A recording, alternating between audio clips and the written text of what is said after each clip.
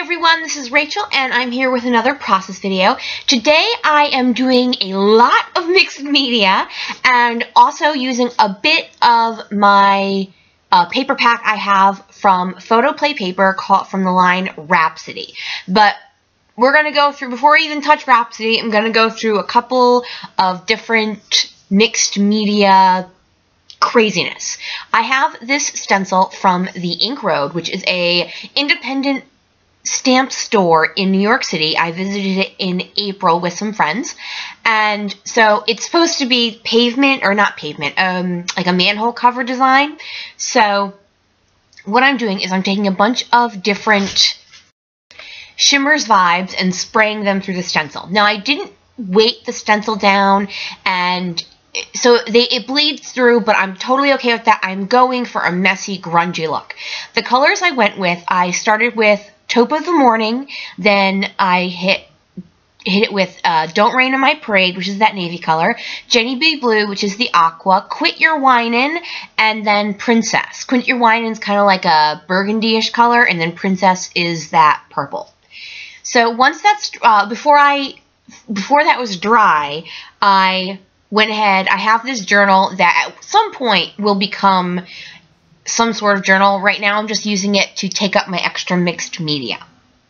So now what I'm doing is I am cutting strips of this paper from Rhapsody, whole, all the different designs, multicolor and then tonal ones.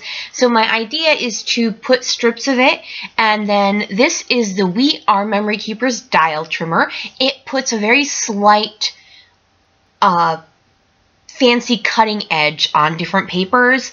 In this particular one, I'm using the deckle edge. There's also a wave and uh, scallop.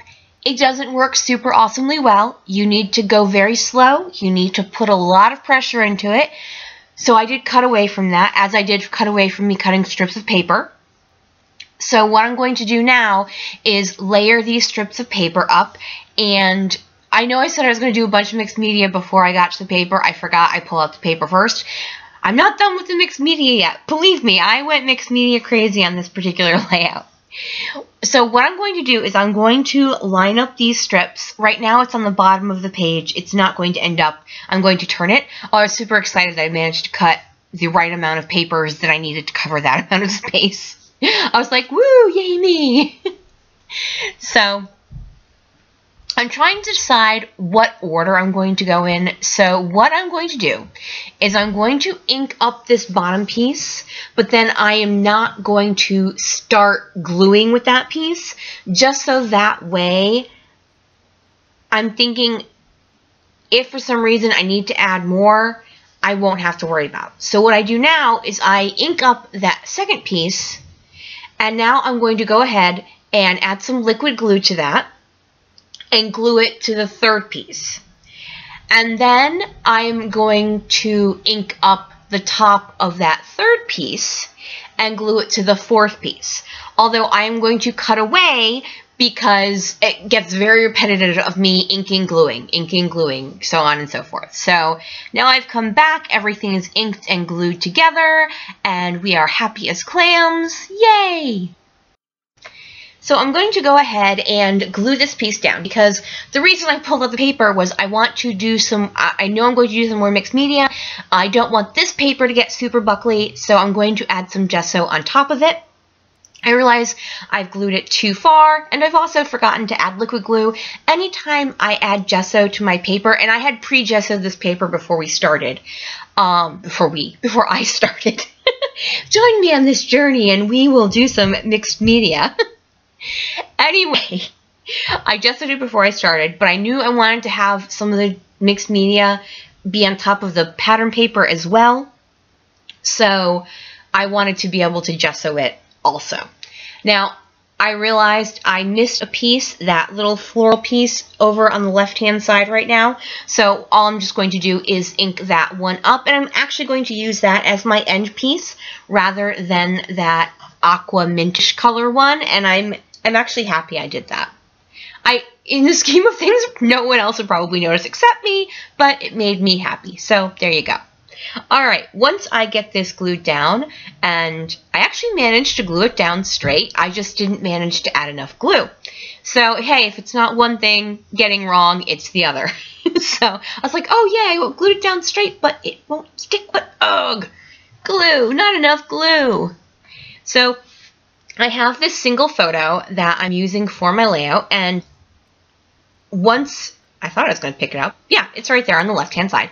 So that's the photo I'm using, and we're all smiley and happy, and the truth is we're kind of miserable. So the whole point of this layout being super grungy and messy and covered with mixed media and layers of papers and stuff like that is the subject of this layout is the fact that we went to New York City in July. We do not normally go to New York City in July. We're just not summer in the city type of people. And now that, sorry, I'm going to skip part of the story just to tell you, now that gesso is dry, I've come back and I've pulled out my gelatos, which are not my favorite mixed media to use because they're really messy.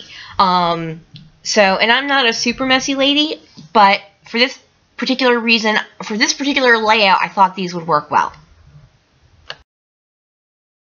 I also pulled out these texture stamps. Some are from Bo Bunny, and then the others are from I don't know. I just picked them up somewhere. They're from a company called Mandarin Duck. I have no clue. Uh, the Bo Bunny ones worked fabulously. The Mandarin Duck ones, not so much. Okay, so I'm going to take the gelatos. Okay, totally spacing the word gelatos for a second. And basically what I'm going to do is create a color block for then to stamp on with my texture stamps. I just take a wet paper towel and wipe them. I prefer to use a baby wipe, but I was actually out of them at this particular time. So you're going to watch me do that. Uh, a rectangle down on the lower right hand side and then this circle piece I'm going to use two different colors for in a circular shape wow words are really hard and then also in the upper center portion, I'm going to do the same thing. So while you're watching me do that, I will finish my story. So as I was saying, we, were, we went to New York City in July. We went for a specific reason to visit a museum for a school project, a summer school project for my nephew. I had a Metro card with like eight bucks left on it, and I'm like, oh, we should just use that up because I don't know when we'll be back, and I don't want it to run out because the whole, you know, it's eight bucks. I'm cheap. Um, forgetting we don't usually go in July because it's hot and it's stinky and the subway smells and is gross in July. And we're there and we're like, this was stupid. We should have just taken an Uber or a cab. We are miserable.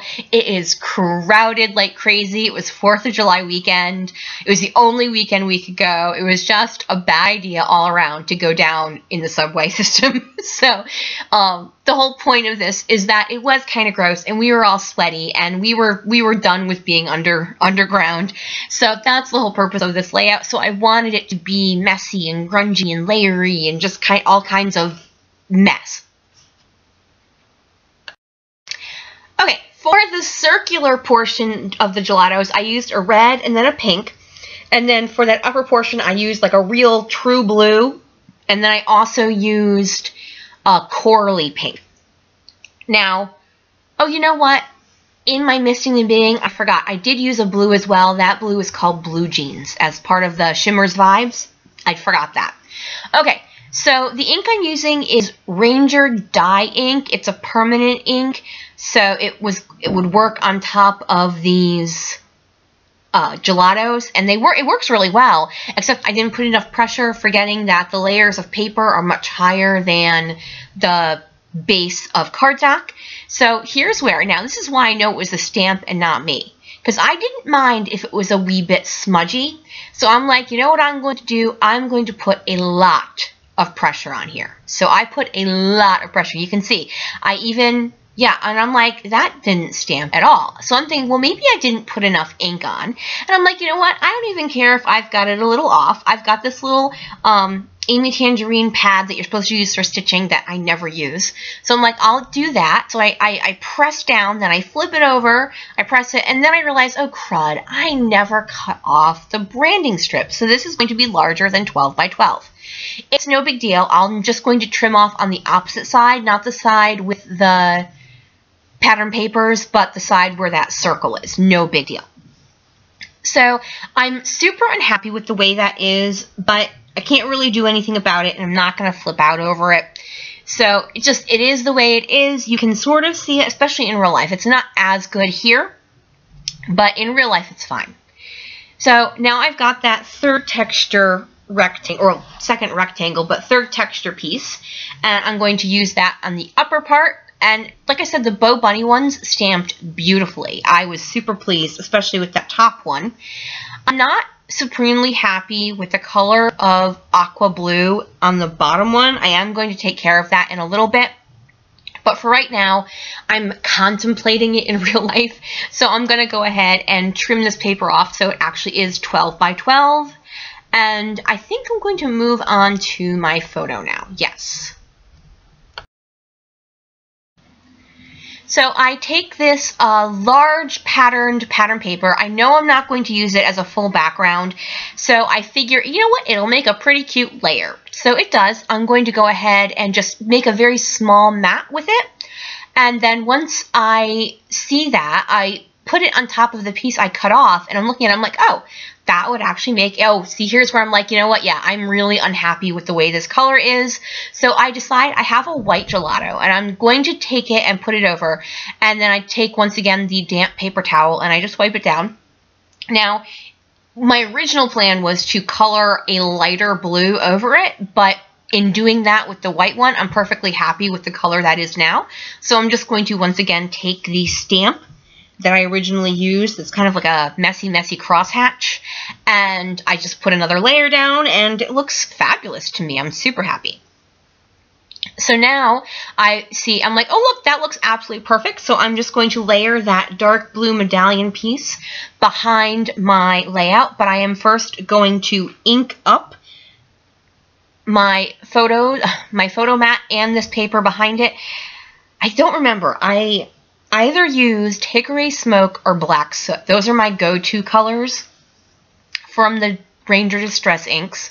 And once I ink both of those up, I'm going to layer them and be super happy with the way that turned out. I pull out my Scotch foam tape, and that is what I'm going to use anytime I use a lot of mixed media. I find the foam tape really works well to make my photos stick.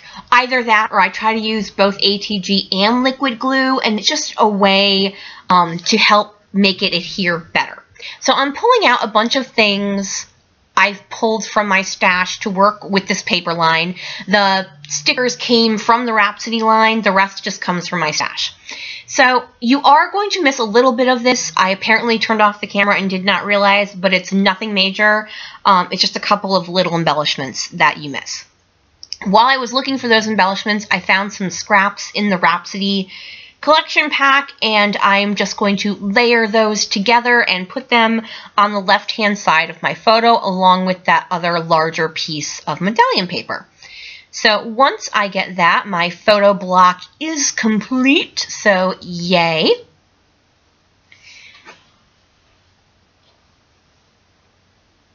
And I'm just going to pull off my foam tape sticky, the sticky part and place that down and I'm happy with the way that looks.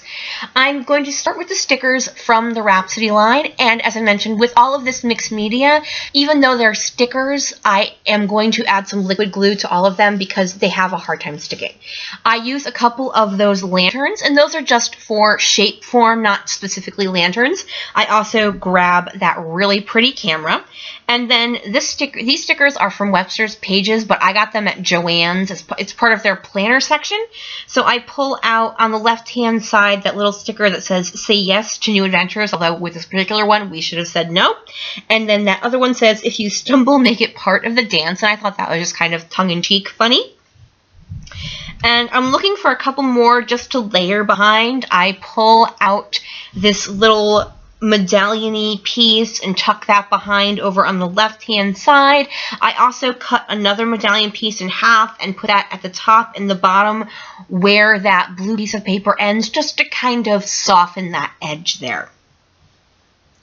Now I have skipped forward. That's the part you missed. What you missed was me adding two wood veneer butterflies and then also those epoxy arrows. And you also missed me digging through a bag of Freckled Fawn wood veneer. Believe me, that is the part you do not miss. because that took forever. I will not lie.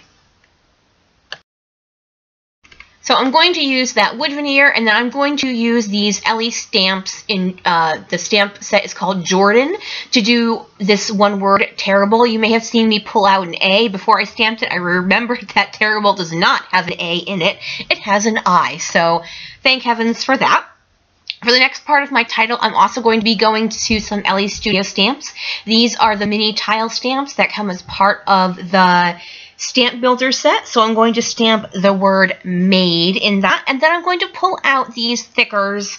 And, oh sugar, they are Afterglow or Bright or something. Oh, first I'm going to clean off my stamps using my Lawn Fawn stamp cleaner thingy, Bright. Okay, so sorry. The thickers I'm using are called Bright, and I'm just going to put together the word weave. So my entire title is going to be We've Made a Terrible Mistake. because that is what we thought about two minutes after heading down into the subway. We're like, okay, this was a bad idea. now, you're not going to see me do my journaling on camera because I could not find my pen that can write over gesso. I do it afterwards, and it's going to go right under the word mistake. Um, but I basically told you exactly what I told you at the beginning about, you know, realizing pretty much right away that was a bad idea. All right, so I've glued down all of my wood veneers, and now I'm adding a couple of little square stickers from those Webster Pages uh, little card stock sticker sheet uh, a little heart in the upper right hand corner, a little globe in the over on the left hand center part, and then a little chevron arrow down by the title. The last thing I'm going to do is finish off with some mist because it's not dirty and grungy enough. I've got to add some black shimmers uh, in after dark, before dark, something like that. I can never remember. All right, folks, I am all done. Thanks so much for joining me here. If you could flick me a thumbs up, that would be super great. Bye, everyone.